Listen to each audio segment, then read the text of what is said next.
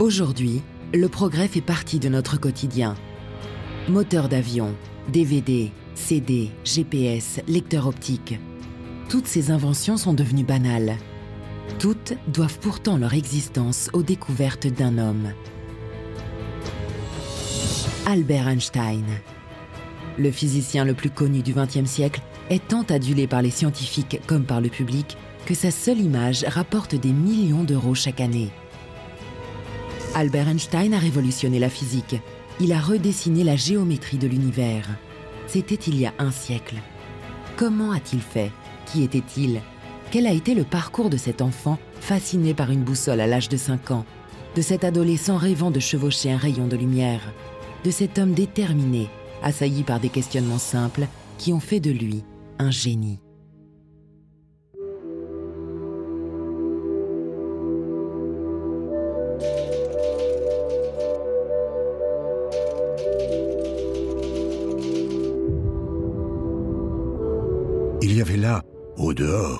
Le vaste monde qui existe indépendamment des hommes, et se dresse devant nous comme une énigme, grande et éternelle, mais partiellement accessible à notre perception et à notre réflexion. La contemplation de ce monde était comme la promesse d'une libération.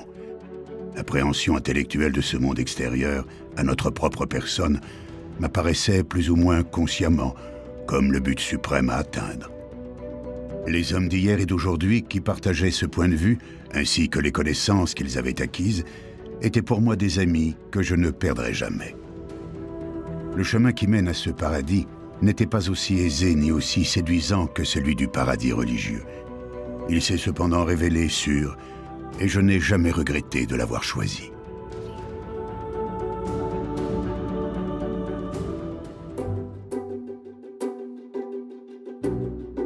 Albert Einstein naît en pleine révolution industrielle. Le 19e siècle est riche en avancées technologiques et scientifiques. Alors que la population se déplace majoritairement en voiture à cheval, les savants comprennent de mieux en mieux l'électricité, qui est depuis peu utilisée à grande échelle dans l'industrie. Thomas Edison vient même d'inventer l'ampoule électrique. Et une curiosité interpelle de nombreux chercheurs. Le courant électrique fait bouger les aiguilles d'une boussole une science toute nouvelle voit le jour. Une science mettant en jeu des forces que l'on ne voit pas à l'œil nu. Les chercheurs découvrent l'infiniment petit et avec lui l'électromagnétisme. C'est dans ce contexte que le petit Albert grandit, choyé par son père Hermann Einstein, ingénieur et propriétaire d'une usine d'électrochimie, et sa mère, Pauline Koch, amatrice de piano qui transmettra la passion de la musique à son fils. Albert est un jeune garçon solitaire, au caractère trempé. Accompagné dans l'enfance par sa jeune sœur Maya, il grandit sans plus de heurts qu'un défaut de langage. Quand Albert Einstein avait environ trois ans, il semblait attardé. En effet, il ne parlait pas beaucoup. Il a parlé très tard, et ses parents étaient un peu effrayés à l'idée qu'il soit vraiment malade. Peut-être qu'en compensation, il a développé une extraordinaire acuité visuelle dans sa façon de voir le monde, car tout au long de sa vie, il a mis des images sur les problèmes pour les rendre concrets, même quand il s'agissait de choses très abstraites en physique. Et très tôt, Albert fut interpellé par les choses abstraites. Un jour de 1883, alors qu'il a 5 ans, il tombe malade. Et ce jour-là, son père lui offrit un cadeau, une boussole.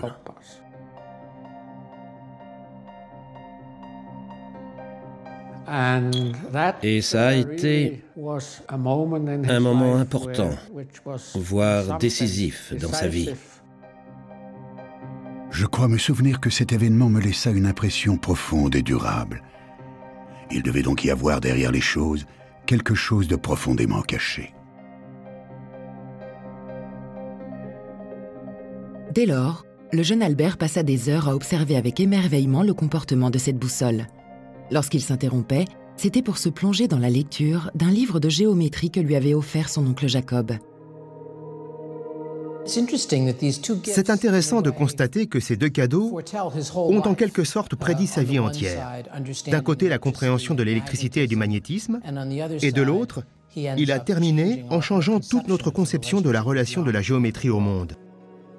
S'il est intrigué dès le plus jeune âge par les mystères que peut offrir le monde qui l'entoure et la géométrie, le jeune Albert n'en aime pas pour autant l'école.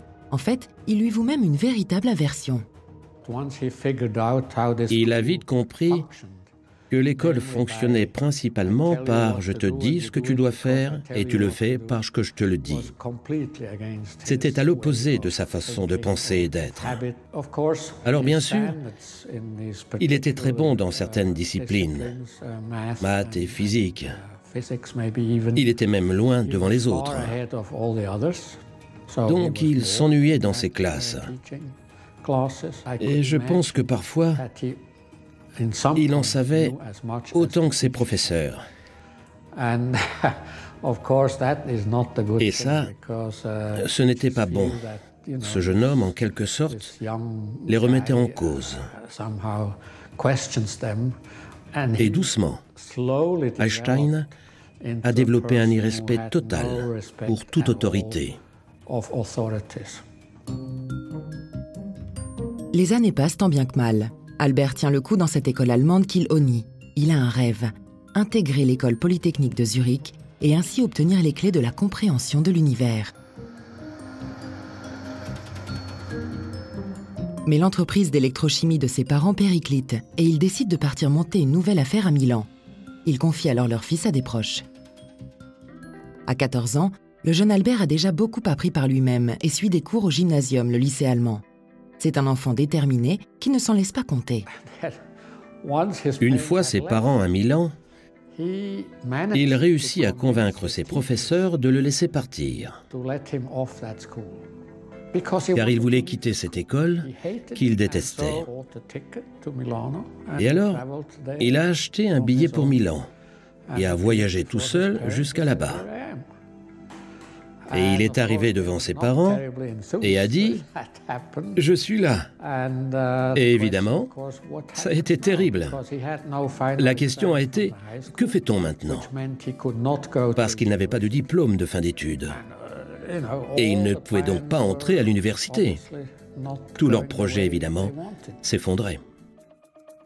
Si Albert est heureux de s'être enfin débarrassé de l'école allemande, il n'a pas réalisé que ses chances d'entrer à l'école polytechnique se sont ainsi évanouies.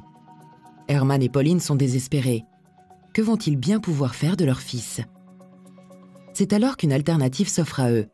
Il y aurait une école en Suisse, à Haro, qui pourrait permettre à Albert d'obtenir l'Abitur, l'équivalent du baccalauréat, seul moyen de pouvoir entrer au Polytechnicum de Zurich.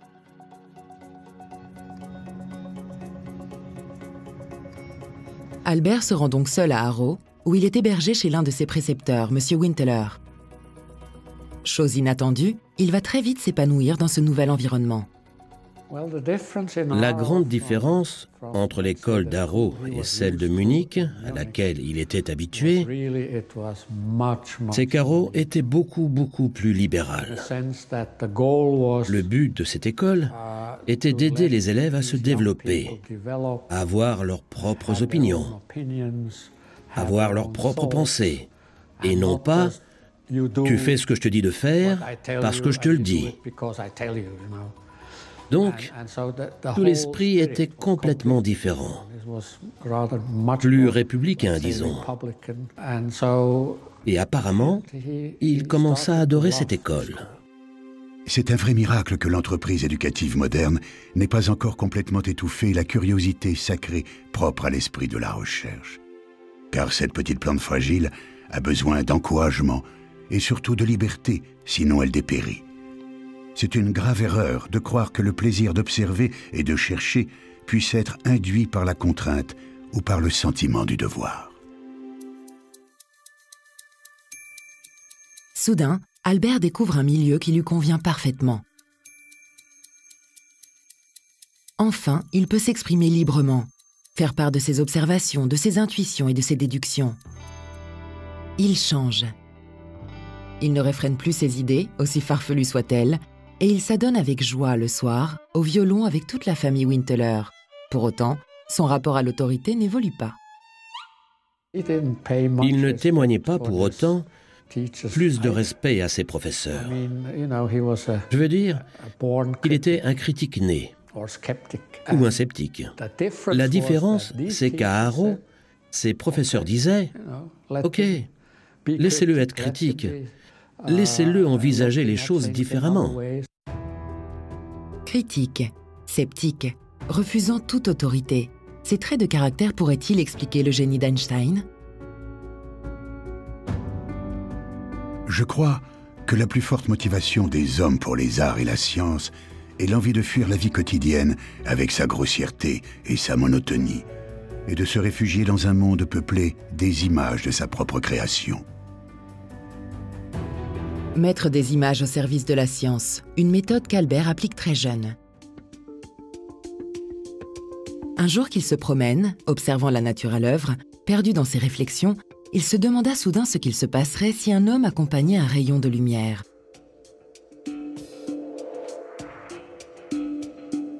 Il a fait cette expérience de pensée, il se dit, bon, la vitesse, j'ai un faisceau lumineux, un faisceau lumineux qui va à la vitesse de la lumière, et si moi, je me mets en chemin parallèlement à ce faisceau lumineux, si je me mets à cheval sur un rayon lumineux, disons pour prendre une image, euh, comment est-ce que je vais voir les autres rayons lumineux? Moi, les autres, tous, tous vont à la vitesse de la lumière. Et il réalisa que s'il faisait ça, il ne verrait plus la lumière, car cette lumière serait figée. Et de la lumière figée, ça n'existe pas. Donc, qu'est-ce qui ne va pas avec ma façon de penser? Si cela n'est pas possible pour Albert, c'est tout simplement parce qu'il sait que le rayon de lumière devrait se comporter selon les règles de la mécanique classique établies par Galilée au XVIIe siècle. Si on se trouve dans un train et que parallèlement à notre voie, il y a un autre train, si les deux trains roulent en même temps à vitesse constante et en ligne droite, sans aucun repère extérieur, il est impossible de dire que les trains sont en mouvement l'un par rapport à l'autre. Vu d'un train ou de l'autre, ils semblent tous les deux à l'arrêt. C'est ainsi qu'il en déduit qu'en chevauchant son rayon de lumière, il devrait voir l'autre rayon à l'arrêt. Mais dans ce cas, il n'y aurait plus de lumière, puisqu'il était admis que la lumière est une onde qui se propage à une vitesse constante, quelle que soit sa direction. Cette réflexion ne le quitte plus. À la fin de l'année, Albert obtient son diplôme et est accepté à l'école polytechnique de Zurich. Il est heureux. Passionné par la lumière et par le magnétisme depuis tout petit, il va enfin obtenir des réponses mais c'est la déception qui l'attend. Il réalise qu'encore une fois, ce qui l'intéressait vraiment, la physique théorique moderne, n'était pas enseigné du tout, car il s'agissait pour cette école de former des ingénieurs ou des enseignants. On apprend aux ingénieurs c'est comme cela que ça se fait. C'est comme ça que l'on calcule. C'est un bâtiment. Ça doit rester droit. Mais pour Einstein, la question était pourquoi le bâtiment tient droit? Et pourquoi fait-on ces calculs? C'était ça qui l'intéressait beaucoup plus.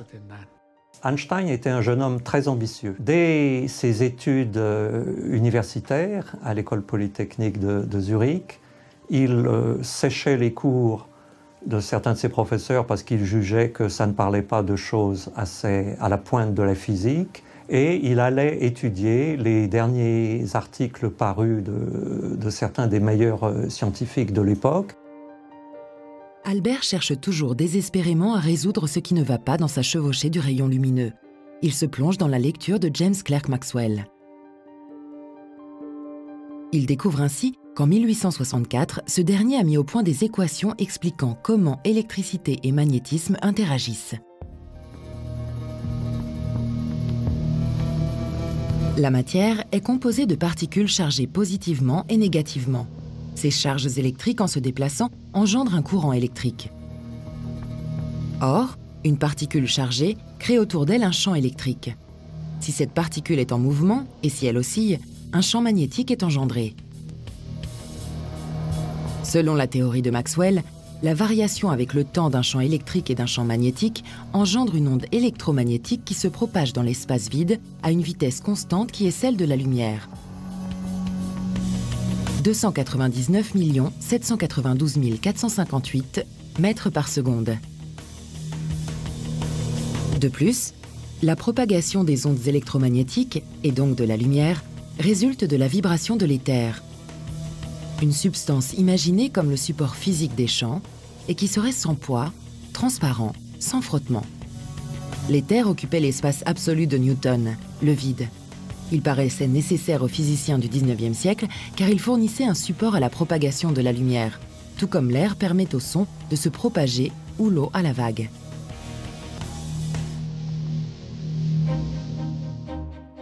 Obsédé par ses lectures et ses recherches, il n'en oublie pas pour autant les plaisirs de la vie. Dans sa classe, il y avait une femme, Mileva Maric, qui était originaire de l'Empire austro-hongrois. Dans un premier temps, je pense, il voulait juste quelqu'un à qui parler de ce qu'il faisait et de ce qu'il pensait en science. Et doucement, ça s'est transformé en une relation qui a évolué vers d'autres sentiments, pour ainsi dire.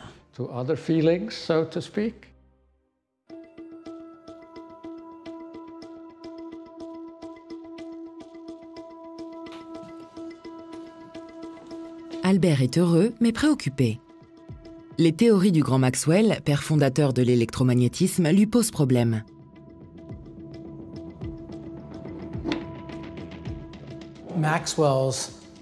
L'électricité et le magnétisme de Maxwell mènent à une asymétrie qui n'est pas présente dans un phénomène. Qu'est-ce que cela signifie? Il n'y a rien de faux dans les équations de Maxwell. Mais elle trouble Einstein. Imaginez que vous avez une bobine de fil conducteur attachée à une ampoule et que vous avez un aimant. Selon les équations de Maxwell, si l'on déplace la bobine de fil avec un mouvement rectiligne et uniforme vers l'aimant, le champ magnétique engendre une force qui pousse les charges électriques de la bobine, créant ainsi un courant électrique. L'ampoule s'allume.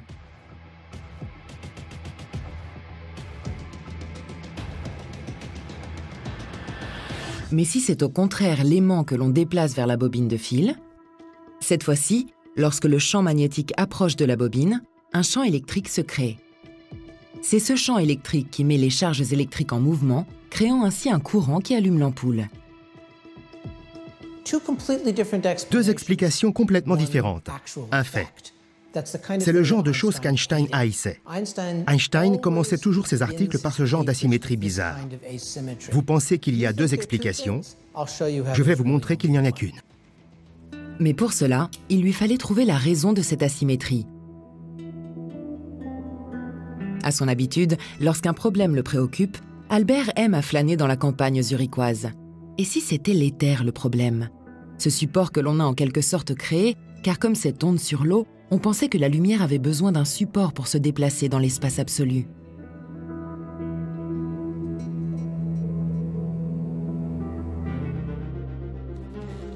Alors qu'Albert travaille sur cette nouvelle idée, il reçoit une lettre de l'université. Il a obtenu son diplôme, mais cela n'est pour lui qu'une formalité qui sanctionne un examen absurde. Pour lui, ça n'avait pas de sens de lui demander de répéter ce qu'on lui avait enseigné. Bien sûr, je peux répéter. Mais la vraie question, c'est qu'est-ce que je pense de ça? Comment je l'interprète? D'ailleurs, ce qu'il souhaite avant tout, c'est une place à un poste universitaire, un travail qui lui permette de se consacrer entièrement à la recherche, à ses réflexions. Une seconde lettre lui apprend que justement, ce poste à l'université de Zurich lui est refusé. C'est une période difficile qui commence. Après qu'il eut fini ses études, peut-être à cause de son attitude rebelle envers les autorités, il ne parvient pas à trouver un travail où que ce soit. Il était incapable d'obtenir un poste à l'université en tant qu'assistant, ni même en lycée. Il a fait de nombreuses tentatives. Il a essayé de donner des cours particuliers à des étudiants. Et ça, ça a marché un tout petit peu. Donc, vraiment, il était pratiquement affamé. Albert est anéanti, humilié. La personne pour laquelle ça a été sans doute le plus tragique était le père d'Einstein. Avoir un fils qui ne réussissait pas, alors que c'était sa vocation, qu'il était doué pour ça, à rentrer dans le monde académique, à tel point que le père a même écrit des lettres à des grands scientifiques en les suppliant d'essayer de prendre son fils comme assistant. Ça devait être dur pour le père. Albert ne renonce pas. Il postule et postule encore, en Suisse, en Allemagne. Et pour oublier ses ennuis, il se plonge dans ses recherches scientifiques ou joue du violon. Mais le sort s'acharne sur lui.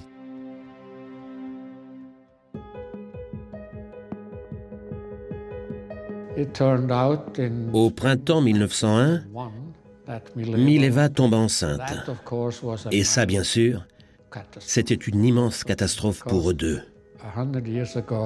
Car il y a 100 ans, attendre un enfant hors mariage n'était vraiment pas facile. C'était vraiment une catastrophe. Et le mariage n'était même pas une option, car il n'avait rien, elle n'avait rien. Et pour ne rien arranger, les parents d'Einstein étaient complètement contre cette relation, particulièrement sa mère. Elle était vraiment contre. Mileva est donc rentrée chez ses parents. Elle n'avait pas d'autre solution. Albert est acculé. Comment trouver un travail pour nourrir sa famille alors que toutes les facultés le rejettent? Qui sont-ils tous pour le mépriser ainsi?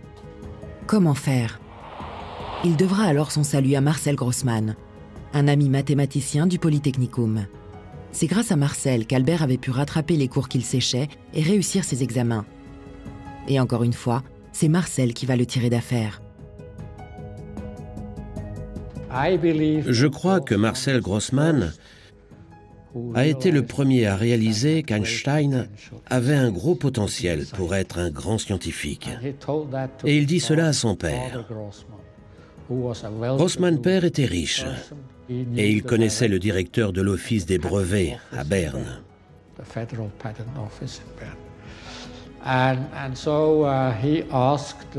Il lui demanda donc de le prévenir s'il engageait de nouvelles recrues. Il préviendrait alors l'ami de son fils, Einstein. Quelques mois plus tard, Albert peut postuler. Certain d'obtenir le poste, il se rend à Berne. Mileva a accouché d'une petite liserle le 4 février 1902. Tu vois, c'est finalement bien une petite liserle comme tu le souhaitais. Elle est en bonne santé Crie-t-elle comme il faut Comment sont ses petits yeux? À qui de nous deux ressemble-t-elle le plus? Il faut absolument que tu me la dessines quand tu iras un peu mieux.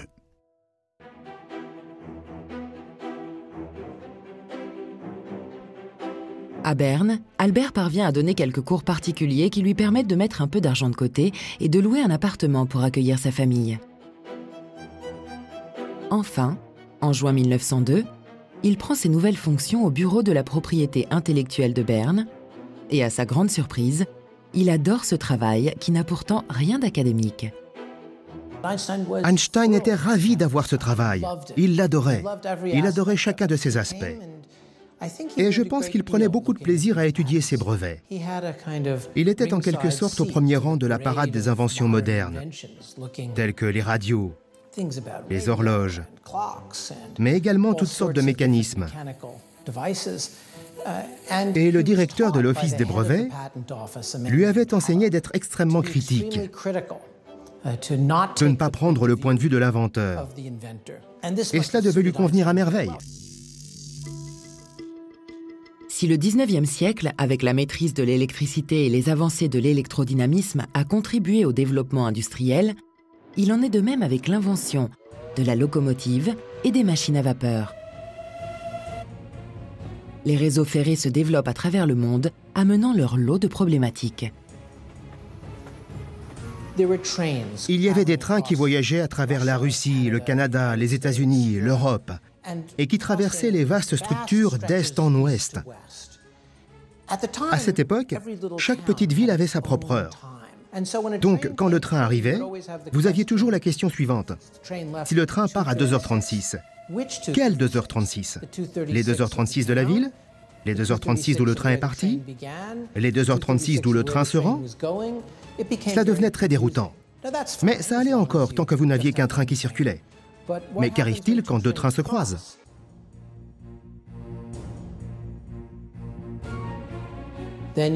Dans ce cas, vous avez au point d'intersection l'heure de la ville située à l'intersection, l'heure d'une voie et l'heure de l'autre voie. Et vous voyez comment cela devient un problème impossible à résoudre quand vous essayez de mettre en place un réseau ferré.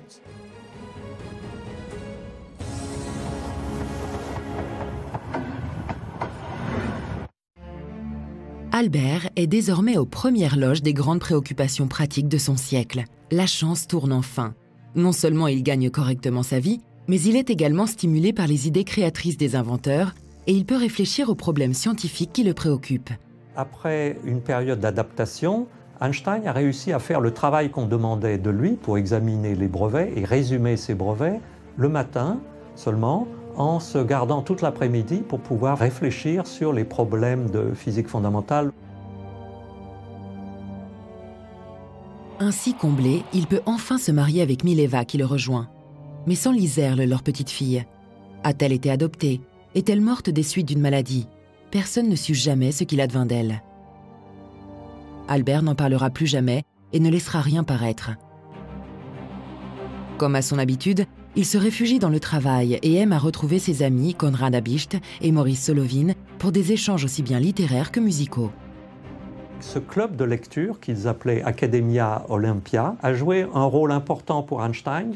C'était, il ne discutait pas équation, il ne discutait pas quel est le dernier résultat technique qu'il faudrait améliorer, mais il discutait qu'est-ce que c'est que l'espace, qu'est-ce que c'est que le temps, qu'est-ce que c'est qu'une loi physique, quels sont les fondements du principe d'induction en, philosophie expérimentale. Et ça, ça a donné sans doute une grande liberté d'esprit à Einstein pour euh, euh, renouveler les concepts fondamentaux de la physique. Einstein est torturé, assailli de pensées. Finalement, qu'est-ce que le temps? Ce temps qui passe inexorablement, et qui ne lui offre pas de solution à ses problèmes. Pourquoi la théorie de la relativité de Galilée lui indique que son rayon de lumière serait à l'arrêt? C'est une chose impossible. Et pourquoi deux mêmes phénomènes auraient deux explications différentes? Impossible aussi.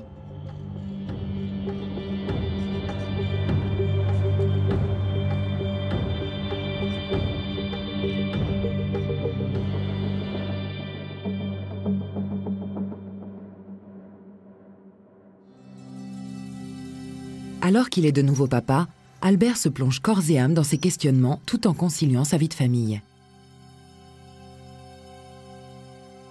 Reprenons. Si je pose ce que dit Maxwell, le père fondateur de l'électromagnétisme, la vitesse de la lumière est, si on l'arrondit, constante à 300 millions de mètres par seconde. Est-ce qu'un rayon de lumière me semblerait immobile si je voyageais à côté de lui?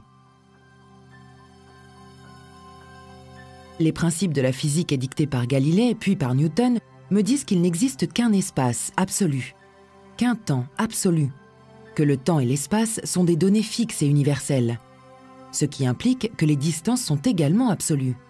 Je peux ainsi calculer des vitesses. Si je vois un train qui avance en ligne droite à une vitesse régulière, ce train va à la vitesse de 5 mètres par seconde. Si je suis dans ce train, sans repère extérieur, je ne perçois pas que j'avance, j'ai l'impression d'être à l'arrêt. Si alors je lance une balle, qui va à la vitesse de 1 mètre par seconde, si je suis à l'extérieur du train, la balle va en fait à 1 plus 5 mètres par seconde. C'est le théorème d'addition des vitesses.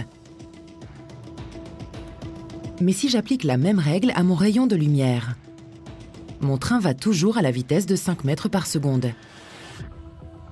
Si je suis dans ce train, et que j'envoie un rayon lumineux, ce rayon lumineux va à la vitesse de 300 millions de mètres par seconde. Mais si je suis à l'extérieur du train, le rayon lumineux va aller à la vitesse de 300 millions de mètres par seconde, plus 5 mètres par seconde. Dans ce cas, la vitesse de la lumière n'est pas constante. Ce n'est pas possible. Agacé, il rentre chez lui et s'enferme dans son bureau. Le lendemain, alors qu'il se promène dans les Hauts de Berne avec son ami Michael Ebesso, comme à son habitude, il l'entretient de ses dernières réflexions. Il n'avait pas besoin des autres pour être créatif, mais il avait besoin d'eux comme caisse de résonance. Et toute cette atmosphère, son cerveau constamment stimulé, tout ça était d'un très grand soutien. Et sa question fut la suivante. Newton et Galilée pourraient-ils s'être trompés? Impossible, lui répond Bessot. La cinématique galiléenne est la base depuis 200 ans. Mais Albert n'est déjà plus avec son ami. Au loin, il aperçoit un clocher et une autre question lui vient à l'esprit. Est-ce que deux événements qui se déroulent au même instant pour un observateur sont également simultanés pour un autre observateur situé en un autre lieu? Bessot reste sans voix tant la réponse lui semble évidente. On pensait très bien connaître les idées fondamentales de l'espace et du temps. Et depuis Newton, tout le monde pensait savoir ce qu'était le vrai espace et le vrai temps, et que la simultanéité absolue, deux événements qui se déroulaient au même moment, était la même pour tout le monde. Albert ne pense plus qu'à ce problème. Ce n'est que le lendemain, à la suite d'une nuit agitée, qu'il se réveille empreint d'une excitation sans nom. Et soudain, Einstein affirme que la lumière lui est apparue et qu'il savait comment le résoudre. En fait, la simultanéité n'existe pas, ou du moins elle existe uniquement si deux événements se produisent dans un même lieu. Or, lorsqu'Albert regarde l'heure sur le clocher, il est dans un lieu différent, à distance d'une autre personne qui se trouverait juste en bas du clocher. Albert voit que l'horloge indique 5 heures, la même heure que doit voir l'autre homme a priori au même moment. Ces deux événements semblent simultanés. Cela est vrai si l'on omet le fait que pour qu'Einstein perçoive l'heure, il a fallu que la lumière lui transmette l'information. Or, la lumière parcourt 300 millions de mètres en une seconde. Einstein étant à 5000 mètres de l'horloge, la lumière a mis 1667 centaines de millionièmes de seconde pour lui transmettre l'information tandis que l'observateur situé à 5 mètres a obtenu l'information en deux centaines de millionièmes de seconde. L'observateur situé en bas du clocher a reçu l'information avant Albert. Les deux observateurs ont donc vu l'heure à quelques centaines de millionièmes de seconde de différence. Si cette différence est infime, voire ridicule à taille humaine, elle est énorme à l'échelle de l'univers et se révèle capitale pour une industrie qui se développe à toute vitesse et qui a besoin de mesures précises. Avant Einstein, tout le monde considérait qu'il y avait un temps absolu, comme si dans l'univers, il y avait une grande horloge cosmique invisible, mais identifiée soit à la réalité physique, soit même pour certains à une divinité hors de la nature, et qui marquait ce déroulement du temps absolu. En remettant la simultanéité en question, Albert peut également remettre le temps en question. Et pour cela, il part de deux principes. Vous ne pouvez jamais dire que vous êtes en train de bouger si vous avancez toujours à la même vitesse. Et la vitesse de la lumière est constante. Ces deux principes sont devenus les piliers de la théorie de la relativité. Et de là, il construit quelque chose qui eut d'énormes conséquences et changea notre idée d'espace et de temps. Car en effet, si l'on a trois locomotives qui se déplacent ensemble en mouvement rectiligne uniforme, c'est-à-dire qui ne subissent aucune interaction, même pas la gravitation, et qui sont séparées par exactement la même distance. Dans chaque train se trouve une horloge. Sur le quai se trouve un observateur. Nous avons donc deux référentiels, celui où se trouve notre observateur et celui où se trouvent les locomotives. Aucune des horloges n'est à la même heure. Il faut les synchroniser. Pour cela, le train B envoie au train A et C un signal lumineux qui contient l'information. Il est midi pile. A, B et C ne se voient pas bouger, ils se voient au repos. A et C reçoivent en même temps le signal lumineux leur indiquant il est midi pile. A et C synchronisent leurs horloges. L'observateur qui est sur le quai, donc dans un autre référentiel, ne voit pas du tout la même chose. Lorsque le commandant envoie le signal Il est midi pile à chaque train, C va à la rencontre du signal alors que A le fuit. Pour l'observateur, C va obtenir en premier le signal. L'horloge C va donc indiquer midi, tandis que l'horloge A indiquera encore 16h30. Dès que le signal atteint A, l'horloge A indiquera midi pile. Mais l'horloge C aura avancé du temps nécessaire à A pour recevoir le signal. Les deux événements ne sont pas simultanés pour l'observateur. L'horloge qui est devant sera en retard sur l'horloge qui est derrière. Les horloges ne sont pas synchronisées. Donc deux horloges au repos dans un référentiel peuvent être synchronisées, mais dans un autre référentiel où elles sont en mouvement, elles ne sont pas synchronisées. C'est-à-dire la simultanéité, elle dépend de la position et de l'état de mouvement où vous êtes. Et c'est ça dont la mécanique classique ne tenait pas compte. Désormais, le temps est relatif. Et qu'en est-il de l'espace, des équations de Maxwell? De cette bobine de fil et de cet aimant dont les réactions s'expliquent différemment selon le point de vue duquel on se place? Albert, en fait, résout le problème. Il supprime l'éther et de ce fait l'espace absolu. Dorénavant, l'espace sera également relatif.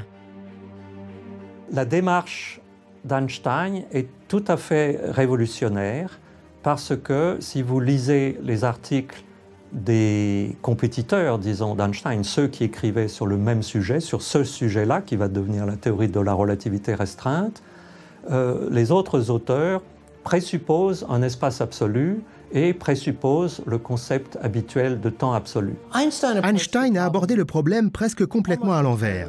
Il a commencé non pas en demandant quelle est la nature de la matière, mais en posant une question que seul un enfant poserait. Il dit qu'est-ce que l'espace? Qu'est-ce que le temps? Qu'est-ce que signifie la simultanéité? Son intuition était différente de celle des autres. Il comprenait les choses en profondeur. Il avait une façon de penser qui ne s'apprend pas. Soit vous l'avez, soit vous ne l'avez pas. Albert consacre les semaines qui suivent à la rédaction d'un article intitulé Sur l'électrodynamique des corps en mouvement, autrement dit, la relativité restreinte. Il l'envoie à la plus grande revue scientifique de l'époque, Annalen Physics, et attend anxieux les réactions à sa publication. Mais rien ne vient. Il se remet au travail. Cette année 1905, il a eu une explosion intellectuelle, si l'on peut dire. Vous pouvez considérer que de 1902 à la fin de 1905, c'était une sorte de période d'incubation. Et boum, en 1905, tout est sorti. Albert publie en effet dans la foulée quatre autres articles qui vont se révéler tout aussi importants pour la physique moderne que la théorie de la relativité restreinte. Et parmi ceux-là, E égale mc2. La fameuse équation E égale mc2. E égale mc2. E égale mc2. Cette formule nous dit que la matière que l'on considérait depuis Lavoisier comme étant permanente, puisqu'on savait que rien ne se perd, rien ne se crée, mais tout se transforme. Ainsi, si un glaçon fond, la quantité de liquide récupéré aura la même masse que le glaçon, tout comme la vapeur d'eau aura la même masse que l'eau avant son évaporation. Ça veut dire que la notion fondamentale que depuis des siècles la matière était quelque chose de pérenne, de permanent, devenait fausse, puisque avec Einstein, la matière peut se dissiper, peut se transformer en énergie, ce qui change profondément le concept de matière. Albert lui-même s'interroge sur sa découverte. Il écrit ainsi à son ami Konrad Abicht. Il m'est tout à coup venu à l'esprit que le principe de relativité associé aux équations fondamentales de Maxwell implique que la masse d'un corps est une mesure directe de l'énergie qu'il renferme. La lumière transfère la masse. C'est une pensée amusante et séduisante, mais je n'ai aucun moyen de savoir si le bon Dieu ne me mène pas en bateau en se riant de moi. Pour arriver à cette conclusion, Einstein considère un corps qui émet des rayons lumineux dans toutes les directions. Or, on sait que la lumière possède une certaine énergie. Par conséquent, ce corps, lorsqu'il émet de la lumière, perd de l'énergie. Einstein trouve qu'à chaque fois que ce corps perd de l'énergie, il perd nécessairement une certaine quantité de masse. En généralisant ce résultat théorique, il en conclut que toute masse renferme une énorme quantité d'énergie qui se calcule par sa masse multipliée par la vitesse de la lumière au carré, E égale mc2. Toute énergie peut ainsi en principe se transformer en masse, et toute masse peut se transformer en pure énergie. Mais il faut faire intervenir des processus de désintégration au niveau nucléaire, c'est ce principe qui sera mis en application des années plus tard dans la bombe dite atomique. Un gramme de matière libère alors une énergie capable de raser des villes entières.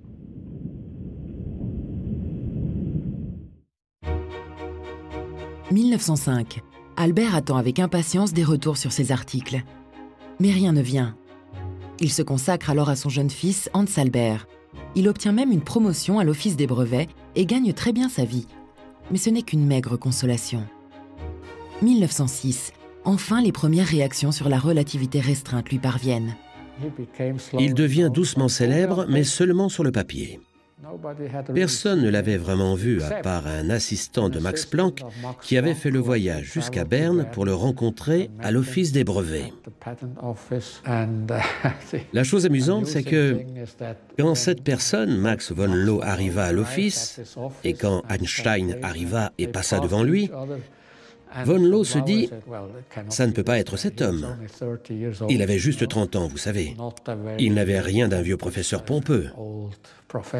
Sa première pensée, telle qu'il l'a décrit plus tard, fut qu'il ne pouvait pas imaginer que c'était la personne qui avait trouvé cette théorie. Mais si, c'était lui. Max Planck, physicien allemand réputé, rédacteur en chef de la revue Annalen der Physics. Albert ne sait pas encore que l'éminent physicien deviendra l'un de ses plus précieux alliés. Albert reprend confiance en lui, ragaillardi par ses nombreuses correspondances avec d'autres scientifiques. Il espère toujours trouver un poste universitaire. Il réalise ce qu'il a fait. Il commence à se dire, avec tout ce que j'ai fait, c'est beaucoup, beaucoup plus que ce que les professeurs de l'université de Berne ont fait. Et eux, ils enseignent. Quelque chose ne va pas. Dans le même temps, il reprend ses recherches, obsédé par une question, la gravitation. Et si cela le préoccupe, c'est à cause de la relativité restreinte. Sa propre théorie a un défaut. Elle s'applique uniquement à un univers de corps se déplaçant à une vitesse constante dans un espace vide, sans gravitation. Einstein voulait simplifier le monde. Il voulait formuler les lois de la physique de façon à ce qu'elles ne dépendent pas d'un état de mouvement particulier comme l'accélération. Il pensait que les lois de la physique devaient être valables quelle que soit la perspective selon laquelle on se plaçait. Une même théorie devrait donc pouvoir s'appliquer dans tous les univers. Il lui faut généraliser la théorie de la relativité restreinte. Mais comment faire? Un jour de 1907, nous sommes toujours à l'office des brevets, il regarde par la fenêtre et voit un ouvrier réparer le toit d'un bâtiment juste à côté. Et il a alors une pensée terrible. Il se dit que se passerait-il si l'ouvrier tombait du toit à travers l'air? Et qu'il y avait son marteau. Il ressentirait le monde comme s'il n'y avait pas du tout de gravité.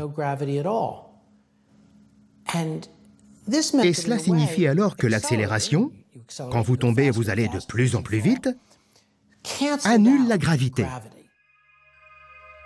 Einstein imagine alors un ascenseur dans lequel se trouve un homme. Si cet ascenseur tombe en chute libre, pendant un instant, la personne va avoir l'impression de flotter, comme s'il n'y avait pas de gravitation, avant de se sentir attiré par le sol à cause du champ gravitationnel terrestre. Si ce même ascenseur se trouve dans l'espace, là où il n'y a aucun champ gravitationnel, l'homme va flotter. Et si l'ascenseur est soudain tiré par le haut, l'homme va soudainement toucher le sol de la cabine.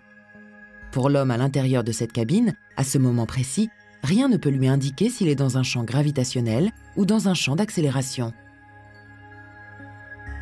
Einstein pensait qu'il y avait une équivalence entre la gravité et l'accélération, et que la gravité n'était en fait rien de plus qu'une autre forme d'accélération. Il appela cela la pensée la plus heureuse de sa vie. Et c'est aussi une simplification. Deux choses deviennent une seule. Gravité et accélération sont maintenant une seule et même chose. Mais que faire de cette équivalence? Est-ce que cela pourrait permettre à Albert de trouver comment agit la gravitation? Voilà une question intéressante qui va le mener à la théorie de la relativité générale. Octobre 1909. Albert est enfin connu et reconnu. Il est accepté comme enseignant à l'université de Zurich et il va pouvoir se consacrer uniquement à ce qui le passionne. Et il ne manque pas de s'intéresser à de nombreux sujets scientifiques, parfois à des moments bien surprenants. Il était invité a donné une conférence à la plus importante rencontre de physiciens à cette époque en Europe. C'était l'occasion d'être sur scène. on lui demanda d'expliquer la théorie de la relativité restreinte. Et il répondit, Vous savez, je pense que tout est clair et qu'il n'y a pas grand-chose à discuter. Je préférerais discuter de quelque chose que je ne comprends pas et que vous non plus vous ne comprenez pas. C'est le problème des radiations que nous devons résoudre. Et personne n'a compris ce qu'il disait. Il ne proposait pas de solution, il a juste dit, regardez, il y a un problème, j'y réfléchis, pourquoi pas vous? C'est empreint de tant de questionnements qu'il commence à entrevoir la façon dont les éléments constitutifs de la généralisation de la théorie de la relativité vont se mettre en place. Avant Einstein, l'espace était quelque chose de rigide, rien ne pouvait le modifier.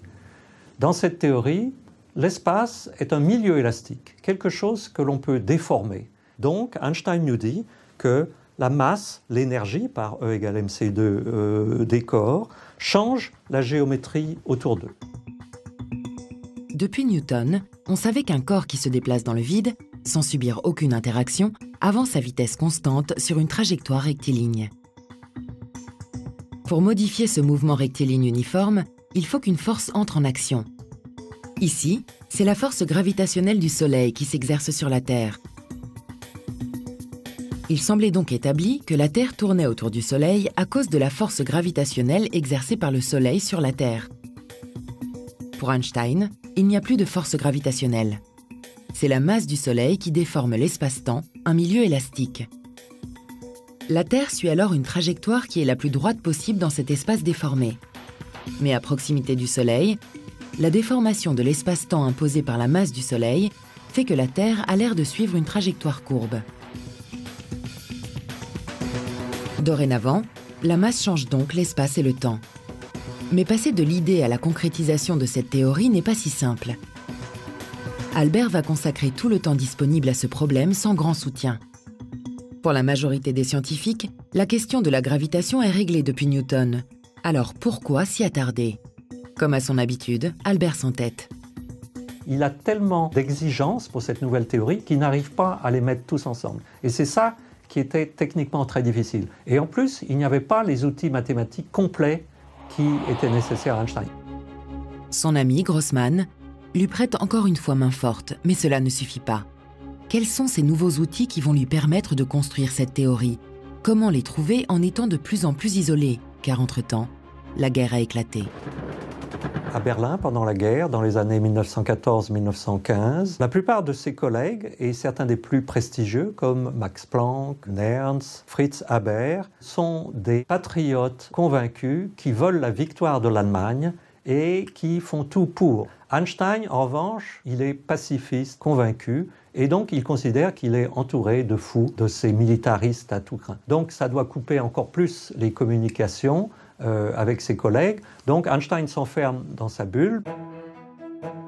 1915. Huit ans ont passé. Albert se consacre maintenant nuit et jour à ses recherches.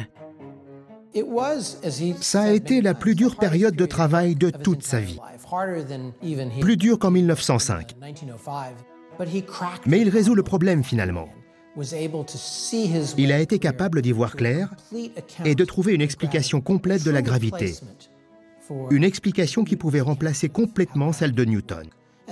Et ça a été, je crois, le plus grand moment de sa carrière, peut-être même l'apogée de sa carrière, et de bien des façons de la physique moderne. Il réalisa que bien qu'il s'agisse d'un travail intellectuel, il subissait, comment dire,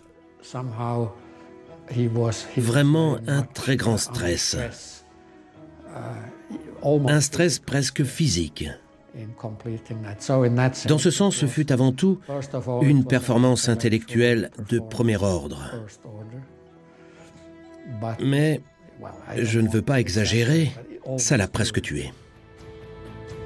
Albert, très affaibli, a enfin réussi à mettre l'univers en équation.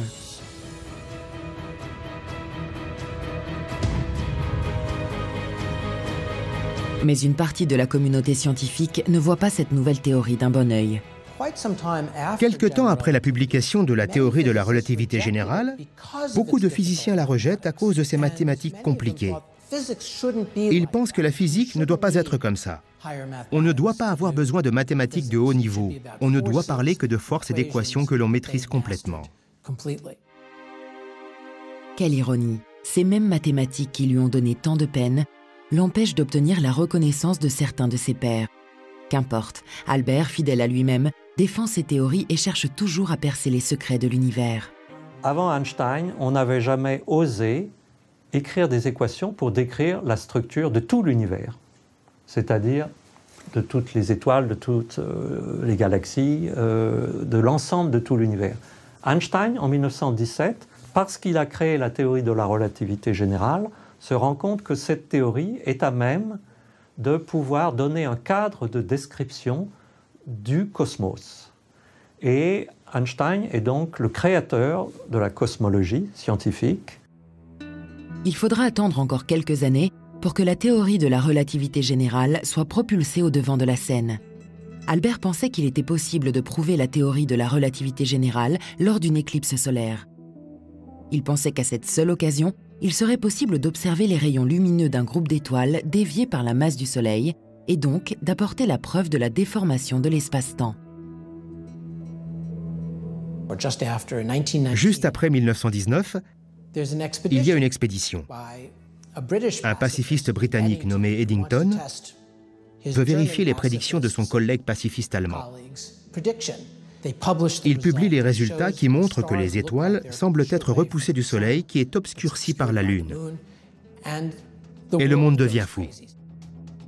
Il y a eu une annonce dramatique à, euh, à la Société royale des sciences euh, de Londres, euh, dans laquelle les Anglais, alors qu'ils sortaient d'une guerre meurtrière avec les Allemands, annonçaient que la plus grande théorie créée par le plus grand génie anglais depuis des siècles, Newton, était mise à bas par une théorie créée par un Allemand, le peuple ennemi que l'on venait euh, de battre.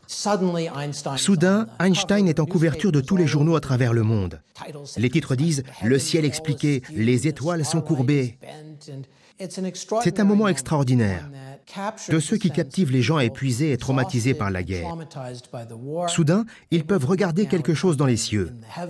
En une seule nuit, Einstein devient le plus grand physicien, le plus célèbre physicien au monde. C'est finalement en 1921 qu'Albert recevra le prix Nobel pour une découverte d'une tout aussi grande importance et rédigée également en 1905. L'effet photoélectrique. Mais c'est une autre histoire. Vous vous imaginez que je regarde l'œuvre de ma vie avec une calme satisfaction? Mais vu de près, il n'en est rien. Il n'y a pas un seul concept dont je sois convaincu qu'il résistera. Et je me demande même si je suis sur la bonne voie.